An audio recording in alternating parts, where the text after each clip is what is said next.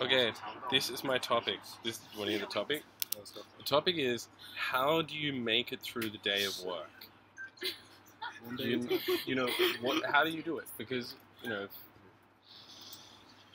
does how many people? Well, okay, it's just the real problem of life for me. The fact is, I go to work and I have to do something for eight hours, and I have to keep doing that thing, and I don't. I have to just do it.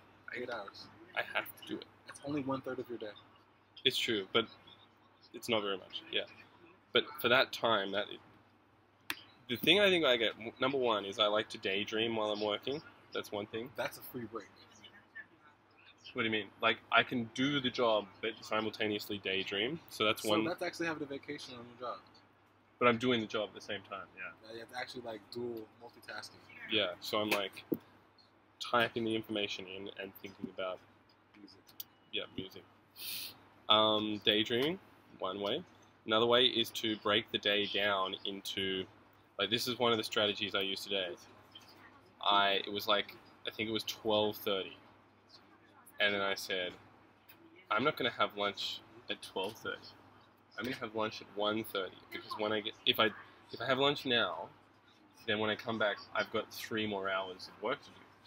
But if I wait an hour, then I can say, oh, I get to have lunch in an hour, which is something good for an hour. So I get to spend an hour thinking about how I get to have lunch. You tease yourself. And then after I get back from lunch, I can go, oh, I've only got two hours left, and then I get to go do whatever I want. All right, now this sounds somewhat insulting, but only because of the character I'm using to say this. Okay. All right. You know how pathetic that sounds. because imagine the person that has no joy in their life.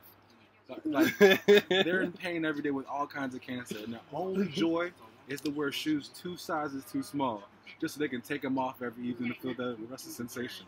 That's how pathetic it is.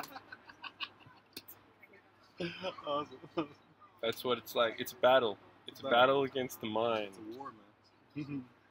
And I won because now I'm not. It's like you always win at the end because you always win because you finish working in one form or another. Winning.